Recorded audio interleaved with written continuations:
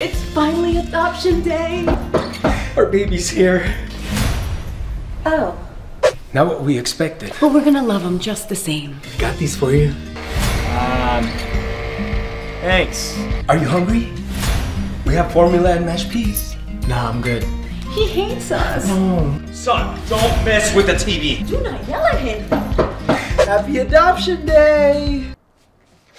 I'm just the cable guy.